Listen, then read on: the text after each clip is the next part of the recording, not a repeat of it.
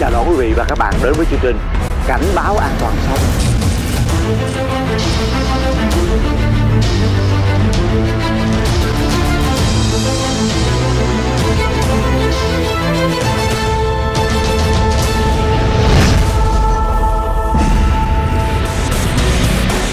Chúng rình rập, quan sát, theo dõi.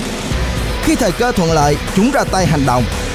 Chúng trang bị vũ khí cực kỳ nguy hiểm và sẵn sàng ra tay tàn nhẫn để thoát thân. Ai sẽ là nạn nhân của những kẻ cướp ngân hàng? Liệu có cách nào thoát khỏi hiểm họa từ những tên tội phạm nguy hiểm này?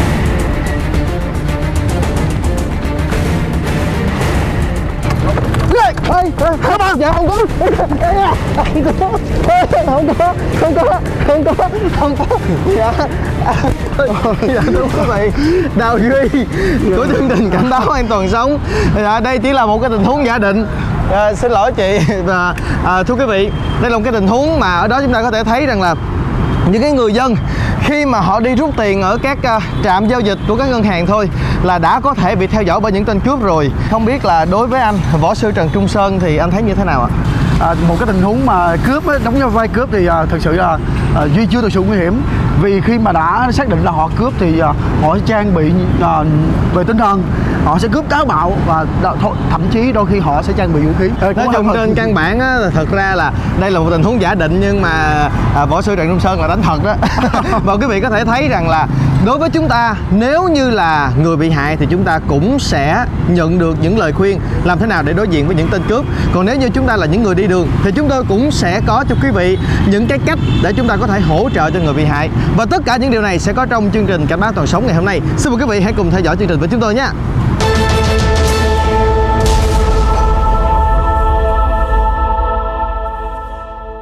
Xin kính chào tất cả quý vị đang quay trở lại với chương trình cảnh báo an toàn sống. Thưa quý vị, có lẽ là trong cuộc sống hiện nay thì lúc nào chúng ta cũng cần phải giao dịch tiền. Thế nhưng bây giờ cứ đi ra đường cầm theo tiền, nhất là giao dịch ở các ngân hàng là rất là sợ gặp bọn cướp. Và ngày hôm nay chính vì điều đó nên chúng tôi đã mời đến đây luật sư Lê Trung Phát đến từ đoàn luật sư thành phố Hồ Chí Minh. À, xin kính chào quý vị khán giả của chương trình. Dạ. Anh thấy như thế nào về các vụ cướp ngân hàng đang xảy ra trong thời gian gần đây? Trong thời gian gần đây thì cái số lượng của vụ cướp ngân hàng nó diễn ra nhiều hơn so với trước. À, bởi một cái lẽ đơn giản là các cái đối tượng này à, nghĩ rằng ở trong ngân hàng rất là nhiều tiền và cái việc cướp ngân hàng á, thì à, sẽ tạo ra cho các đối tượng cái khoản tiền mặt à, rất là lớn mà mình không cần phải tiêu thụ à, những cái tài sản do mình cướp được nó mất thời gian hơn. Phần lớn á, thì các đối tượng này sử dụng các cái công cụ có cái khả năng sát thương rất là cao. Ví dụ như là súng hay là các cái loại dao vũ khí tự chế. Theo anh đánh giá ngân hàng có phải là một nơi dễ để cướp không ạ? ngân hàng à, là một cái nơi không dễ để cướp. Nếu như thực sự ngân hàng có những cái việc mà quản lý à, cũng như là trang bị các cái các cái à, công cụ hỗ trợ một cách à, bài bản và và, và và và hợp lý thì cái việc này là rõ ràng là những cái nơi mà đông người thì cái việc cướp thường là khó xảy ra được khó xảy ra nhưng vẫn Đúng diễn rồi. ra tình trạng cướp ngân hàng. Đúng rồi. Và thưa quý vị trong thời gian gần đây thì chúng ta đã biết là ở Trà Vinh có một vụ cướp ngân hàng rất táo tợn và ngay bây giờ chúng tôi xin mời quý vị hãy cùng theo dõi xem vụ án cướp ngân hàng ở Trà Vinh là như thế nào nha. Vụ cướp ngân hàng ở Trà Vinh mới xảy ra cách đây không lâu.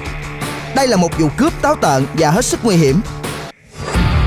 Từ camera an ninh cho thấy tên cướp đã xông vào ngân hàng, hắn liên tục dùng súng đe dọa các nhân viên ở đây. Có lẽ do quá hoảng sợ, các nhân viên đã phải thực hiện theo yêu cầu của tên cướp nguy hiểm này. Một nhân viên nam đã thực hiện theo yêu cầu của tên cướp, lấy tiền và bỏ vào túi sách rồi đưa cho hắn. Sau khi nhận tiền, tên cướp chưa đi liền mà hắn dồn tất cả nhân viên về phía trong. Có lẽ hắn muốn đề phòng trong lúc thoát thân. Đúng vậy, tên cướp sau đó nhanh chóng tẩu thoát cùng với hơn 2 tỷ đồng cướp được.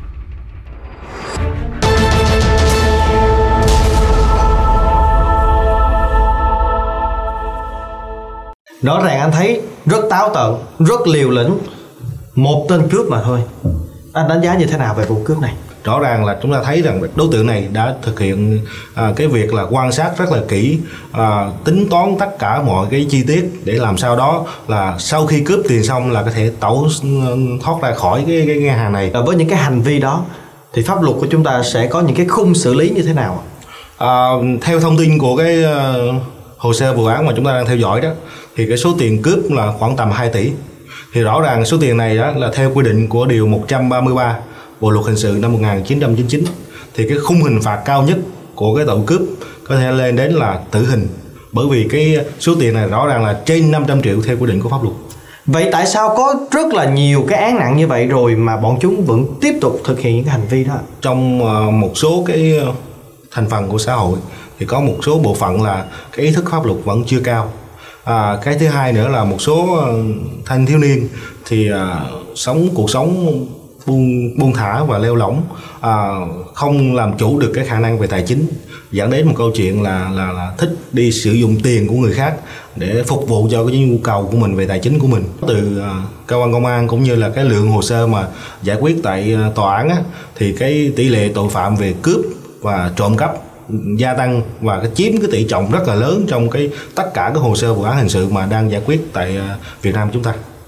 Thưa quý vị, không phải ngẫu nhiên mà chúng tôi lựa chọn chủ đề này để mang đến cho quý vị. Đây là một vấn nạn của xã hội. Và để giúp cho quý vị có thể hiểu rõ hơn về thực trạng này, xin mời quý vị hãy cùng theo dõi một đoạn phóng sự ngắn sau đây. Thời gian qua đã xảy ra nhiều vụ cướp ngân hàng táo tợn gây xôn xao dư luận. Khoảng tháng 3, một vụ cướp ngân hàng đã xảy ra ở Đà Nẵng. Theo đó, tên cướp dùng dao uy hiếp và cướp 50 triệu đồng. Tuy nhiên, tên cướp đã bị bắt ngay sau đó. Hay còn nhiều vụ cướp khác liên quan đến ngân hàng đã xảy ra thời gian qua khiến dư luận bức xúc như cướp người rút tiền ở các cây ATM, theo dõi và cướp từ người đi giao dịch trong các ngân hàng ra. Những vụ cướp này hết sức manh động nguy hiểm. Nhiều vụ việc xảy ra giữa ban ngày, nhiều tên cướp táo tợn và sẵn sàng ra tay tàn nhẫn nếu bị nạn nhân phản kháng hoặc để chúng tiện đường thoát thân.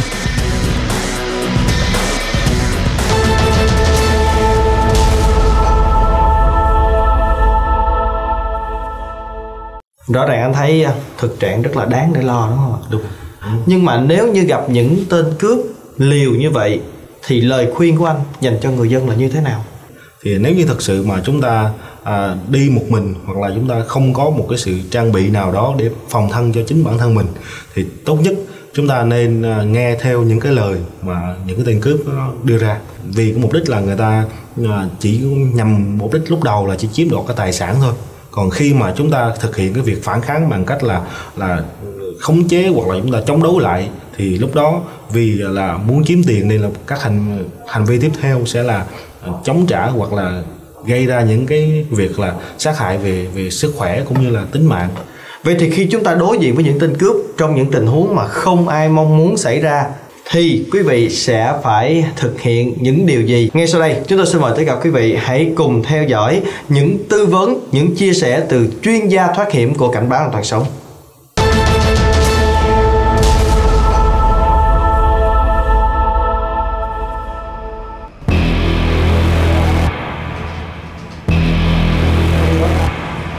Không nóng đánh.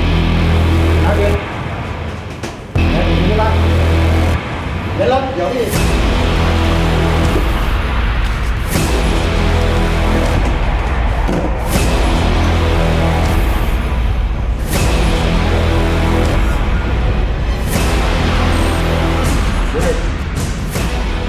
Bỏ tiền vô đây.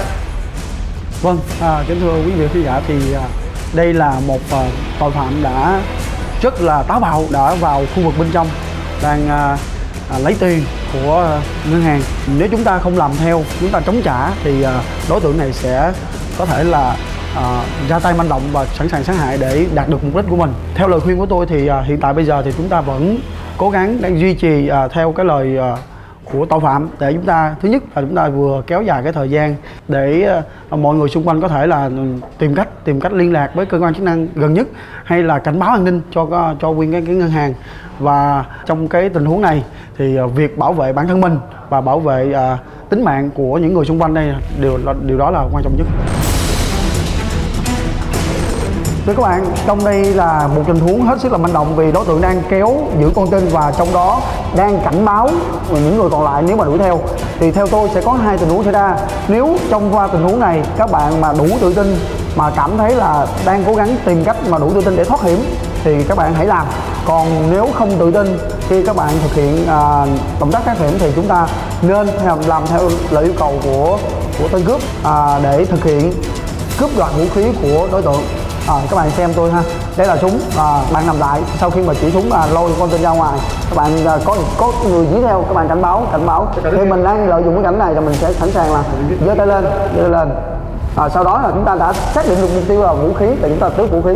Bằng cách chụp giữ cổ tay không cho uh, đối phương uh, linh động. Sau đó chúng ta bẻ cò chụp cổ súng rồi chúng ta bẻ từ trên xuống dưới theo trục xương dọc à, sau đó chúng ta làm lượt xoay như thế này vừa bẻ, vừa đau mà làm cho đối phương đau rồi lượt xoay ngã xuống. Và sau đó chúng ta sẽ tìm cách hướng thoát cho nhanh nhất.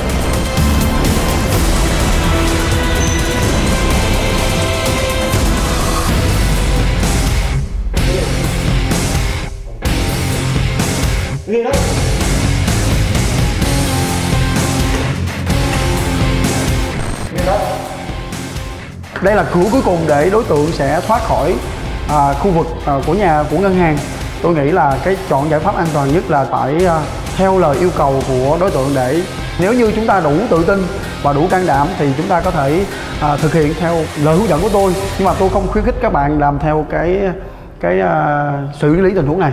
Thì à, trong cái tình huống này thì các bạn thấy là đối tượng đang ra khỏi cổng và chúng ta việc đầu tiên chúng ta thấy đối tượng đã chuẩn bị thoát khỏi khu vực này thì việc đầu tiên chúng ta sẽ di chuyển đứng khoảng cách để tầm quan sát tốt sau đó mình sẽ có tận dụng những cái gì mình có. Thứ nhất là trên người tôi là hiện tại là có cái nón. Cái nón hiện tại bây giờ đối với nhiều người thì nó nón bình thường nhưng mà trong cái tình huống này có thể là làm cho đối phương thể là bị à, à, sao lãng cũng có thể là bất ngờ. À, các bạn thấy tôi sẽ bỏ dơ lên tôi sợ nhưng mà thật sự tới đây đây là thao tác để chuẩn bị cho chúng ta thực hiện thủ thuật quăng nón.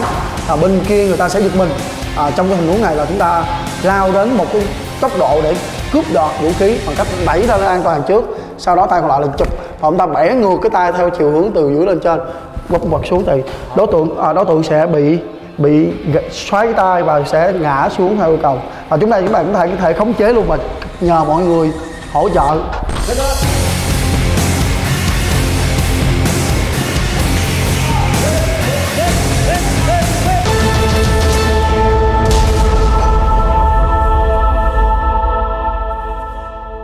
Quay trở lại với một vấn đề là chúng ta vẫn phải đi giao dịch. Vậy thì lúc đó chúng ta nên làm gì để tránh những cái ánh mắt diều hâu của những tên cướp này? Hơn ai hết trước khi mà chúng ta nhờ vào cái việc là cơ quan ờ, có chức năng bảo vệ cho chính mình thì mình tự bảo vệ mình là điều tốt nhất.